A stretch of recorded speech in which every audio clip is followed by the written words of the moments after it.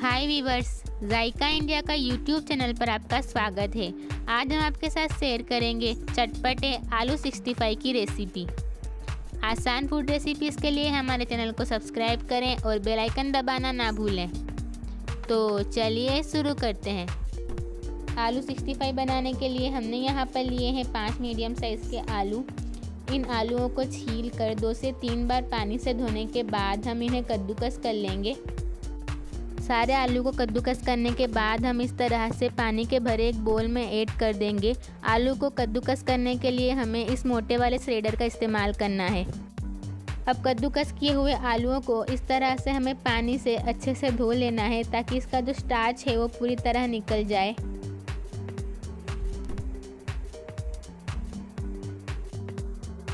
पानी से अच्छी तरह आलू को धोने के बाद अब इस तरह से निचोड़ कर हम इसका सारा पानी निकाल लेंगे।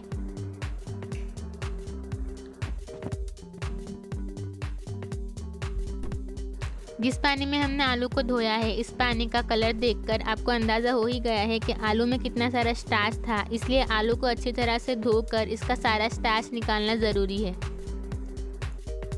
इनको पानी से अच्छी तरह धोकर सारा पानी निकालने के बाद हमने एक बोल में ट्रांसफ़र कर लिया है। अब हम इसमें ऐड करेंगे डेढ़ टीस्पून लाल मिर्च पाउडर एक टीस्पून नमक, एक टीस्पून अदरक और लहसुन का पेस्ट हाफ़ टी स्पून काली मिर्च पाउडर और एक टीस्पून जीरा पाउडर इसी के साथ हम इसमें ऐड करेंगे पाँच टेबल स्पून मैदा।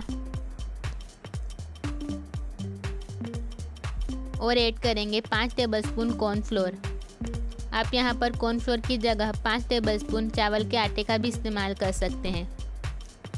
अब इन सारे इंग्रेडिएंट्स को आलू के साथ अच्छे से मिक्स कर लेंगे। सारे इंग्रेडिएंट्स को अच्छी तरह मिक्स करने के बाद अब हम इनको फ्राई कर लेंगे। आलू 65 को फ्राई करने के लिए हमने तेल को अच्छे से गर्म कर लिया है। अब हम गैस की फ्लेम को मीडियम करेंगे और मीडियम फ्लेम पर इनको अच्छे से फ्राई कर लेंगे। देखिए, हमें इनको फ्राई करते वक्त गैस की फ्लेम को मीडियम ही रखना है, क्योंकि हमने यहाँ पर जो आलू इस्तेमाल किए हैं, वो कच्चे हैं।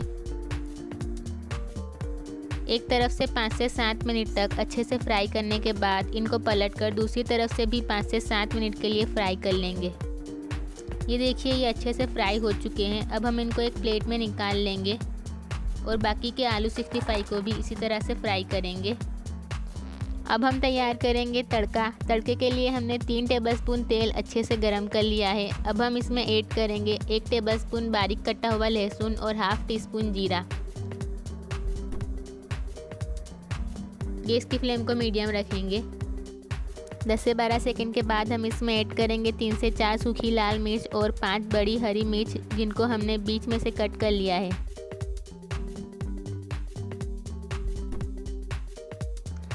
इसी के साथ इसमें ऐड करेंगे कड़ी पत्ता। 30 से 35 सेकंड के बाद हम इसमें ऐड करेंगे फ्राई किए हुए आलू 65 अच्छे से मिक्स कर लेंगे। इसे बढ़िया सा कलर देने के लिए चार टेबलस्पून दही में हम ऐड करेंगे हाफ़ टी स्पून कश्मीरी लाल मिर्च पाउडर और दो चुटकी रेड फ़ूड कलर। और इसे चटपटा बनाने के लिए ऐड करेंगे half teaspoon chaat masala. इन सबको दही के साथ अच्छे से मिक्स कर लेंगे। Chaat masala red food colour और कश्मीरी लाल मिर्च पाउडर को हमने दही के साथ अच्छे से मिक्स कर लिया है और अब इसमें ऐड कर देंगे।